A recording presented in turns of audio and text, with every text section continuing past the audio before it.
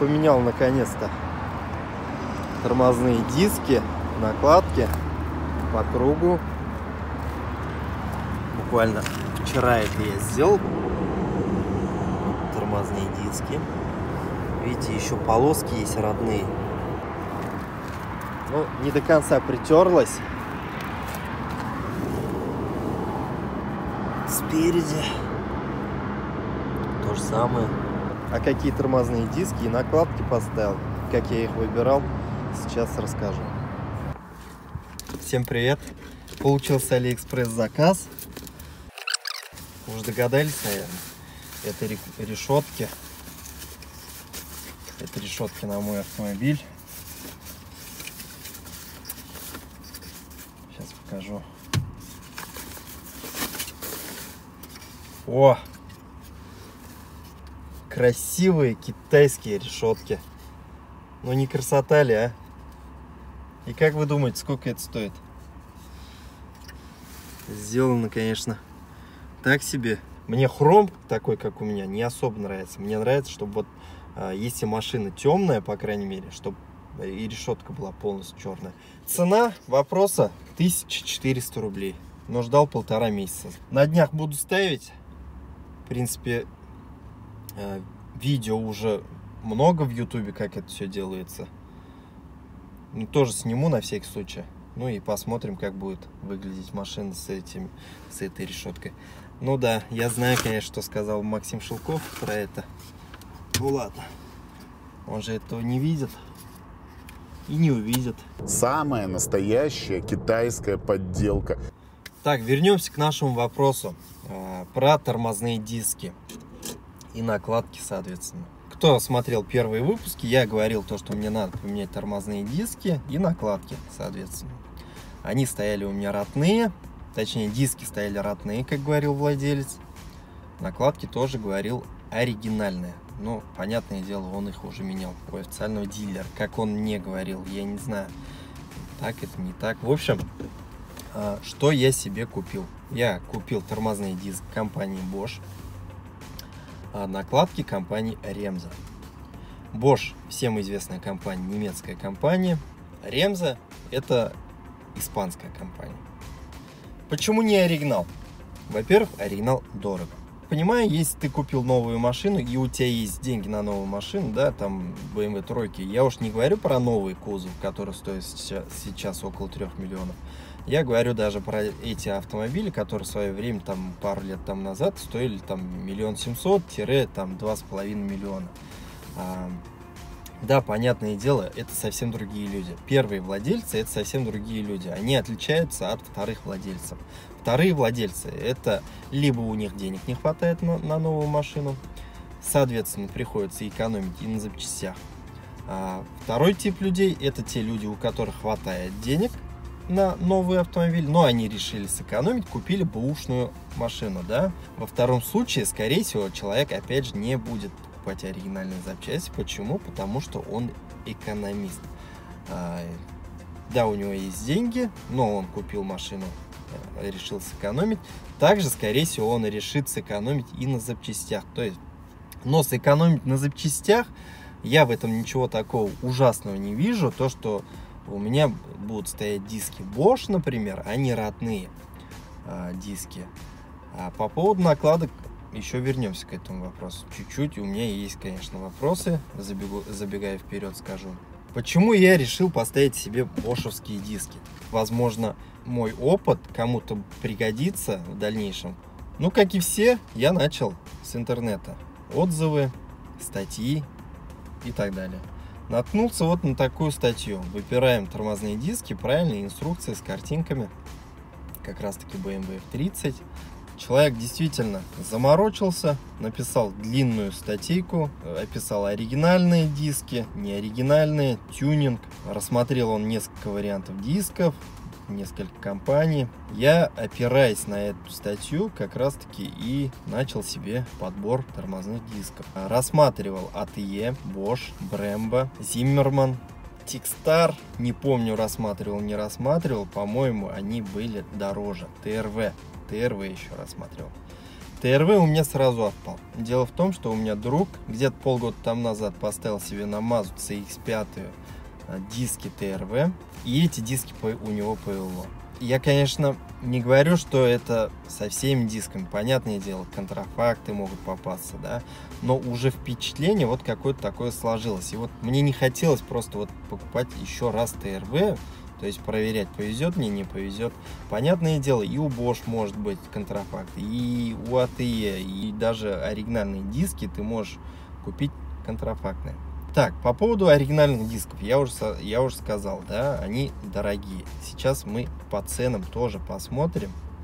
Потом, ATE. Опять же, я смотрел и отзывы. Кто-то говорит, что ATE это супер диски, кто-то говорит, что даже оригинал BMW а, заказывает а, диски у ATE.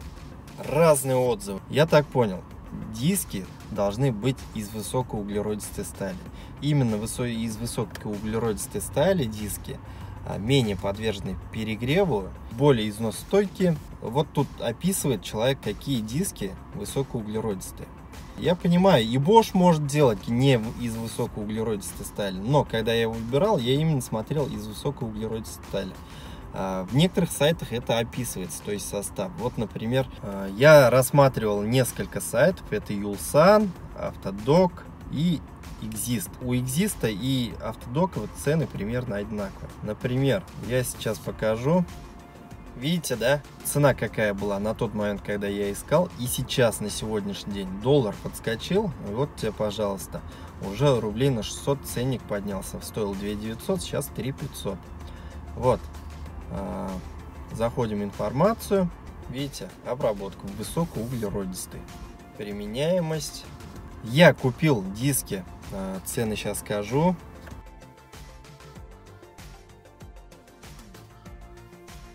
Ну, в общем, почему же это Bosch?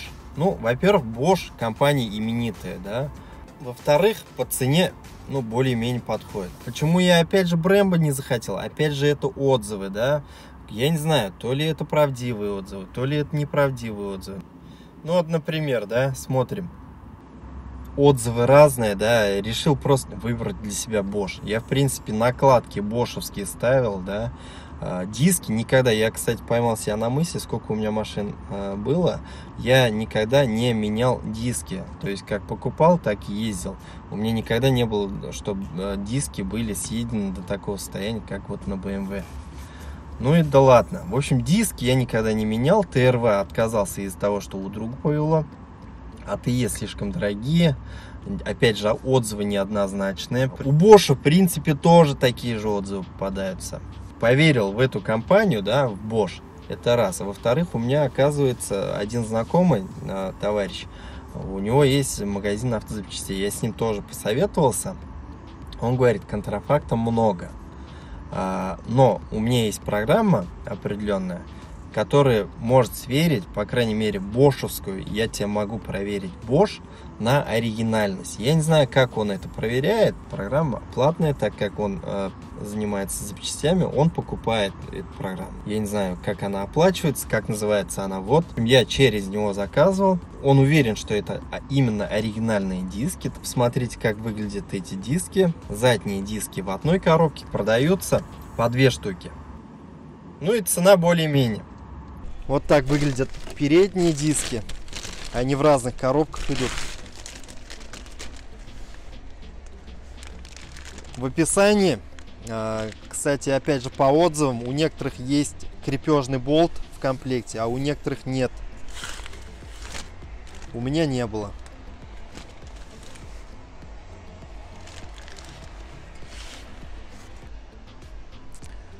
Так, это два передних, два задних в одной коробке. Крепежного болта тоже в комплекте нет. Вот так выглядит. Давайте посмотрим цены. А, допустим, вот этот тот же самый Зиммерман, он стоит дороже, да? Причем, опять же, там отзывы есть всякие разные. Есть хорошие, есть плохие. Сейчас посмотрим. Тоже обработка высокоуглеродистой с покрытием. 3800, да? Это был передний Ну вот он, вот они цены. Просто тут, опять же, кто поставщик, э, цены разнятся. Вот они в наличии, доставка 1-2 дня. Это сайт у меня Юлсан. Сейчас посмотрим, кстати. Вот это передний, да? Это передний был диск. Вот АТЕ. Кстати, цена стоила 2900. Это за передний диск. А, иногда бывает то, что диски задние дороже. А, это, кстати, задний диск, да? 3100 рублей. А вот это, скорее всего, передний. 3944. На тот момент стоил, это АТЕ, когда я э, смотрел, примерно это было месяц тому назад. Но после этого уже с долларом произошли непонятные вещи. А почему непонятно? Все понятно, все ясно. Вот диск Bosch я на тот момент рассматривал 2950 рублей. Посмотрим, сколько он сейчас стоит. 3511 рублей. Ну вот видите, цены как дорожают. Это передний диск. Тоже высокоуглеродистый. Посмотрим, сколько сейчас задний стоит. 300 начинается. Ну тут уже от доставки, видите, я так понимаю, 91% это э, процент доставки. То есть, насколько вероятно, что тебе привезут диск, наверное, я не знаю. В общем, вот такие цены. Тормозные накладки. Опять же, очень много информации. Кто стоит Ремза, кто стоит Тикстар. Кстати, даже наткнулся на такое объявление. Есть такие диски, патрон. Я так понимаю, это Китай. Самые дешевые дешевые. Даже их ставят на их шестые люди. Пишут, что вообще идеал. Там, я не знаю, кто это. Вот, ну, самый дешевый китайский ставить, это уже, конечно, ну, мне кажется, перебор. Вот, я поэтому, опять же, вернемся к тому, что мы, вторые владельцы, а, нужно выбирать что-то, нечто, нечто среднее. Конечно, а, кто-то скажет, это уже у тебя не BMW, раз не оригинал, да. Соглашусь отчасти, соглашусь. А, просто, опять же, цена машины как Солярис. Вот я поставил накладки Ремза. Почему Ремза, да? Хорошая испанская компания, хорошие отзывы. Ну и, понятное дело, и плохие есть отзывы. В общем, я решил себе поставить. Тоже есть отзывы ребят, которые поставили, говорят, что вообще супер. Ни звука, ни шума. Кто-то говорит, оригинал поставил, свистит. Поставил АТЕ, АТЕ свистит. Кто-то поставил Ремза, Ремза идеал. Ну, я не знаю, действительно. Я посмотрел, цены хорошие, страна производитель хорошая, Испания, да. Особо плохих отзывов нет там. Решил поставить себе попробовать. Скажу так, проехал сейчас около 60-70 километров тормозят вообще плохо. Очень плохо тормозят, но вы видели, да, пока еще вот а, не приработалось, как говорится, не притерлось, возможно. Надо еще проехать, я думаю, километров 100, потормозить, поактивнее потормозить, возможно. Возможно, после этого станет лучше. Но, если лучше не станет, блин, ну, действительно, вот даже у меня те убитые, которые были до этого, да, они были намного лучше. Реально, вот чуть-чуть нажимаешь, машина встает как вкопанная. А это, блин, тут продавливать надо, хорошенечко продавливать.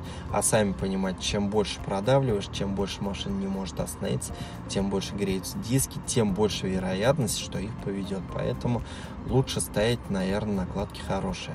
Есть мнение, то, что оригинальные накладки для BMW поставляет компания Joyride, либо Techstar. Вот и тоже, опять же, наткнулся на статью.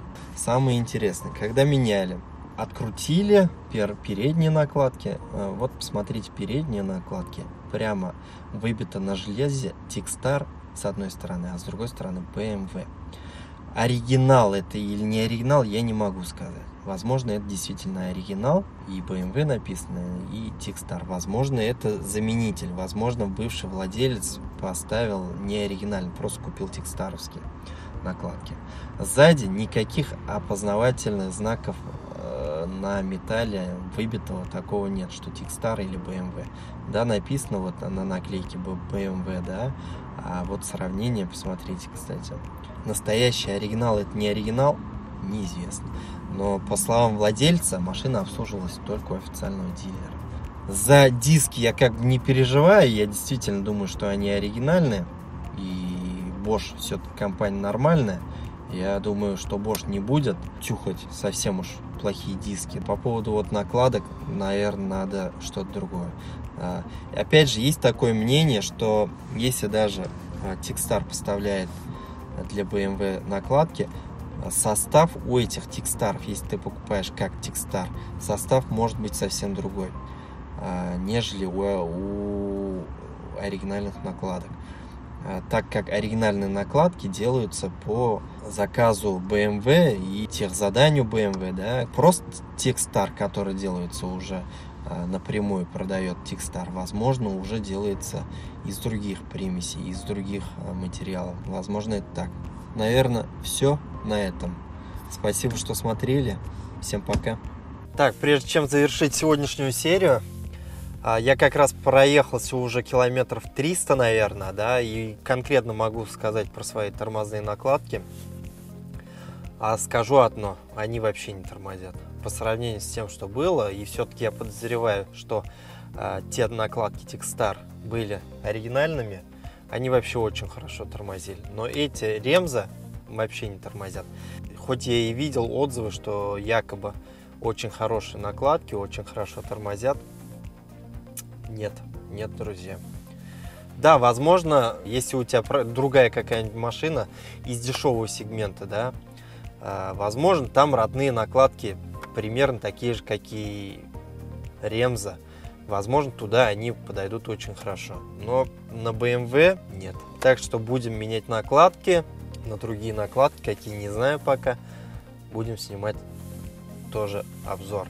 А еще забыл пару моментов. После того, как накладки меняешь, надо сбрасывать бортовой компьютер, потому что у меня показывало то, что остаток э, по задним накладкам 2500, по передним 9000 километров показывал. Передний я сбросил, сейчас покажу.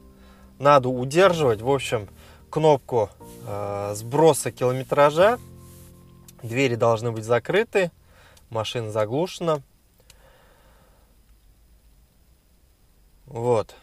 Удерживать кнопку каждый раз надо удерживать. И для сброса тоже надо удерживать эту кнопку. Сбросили, это передние накладки. А вот задние, задние нифига не сбрасываются. Прокатился, еще раз попробовал, нифига не сбрасывается. Опять зашел в интернет, посмотрел, говорят, что это такой глюк. И надо ехать в сервис сбрасывать.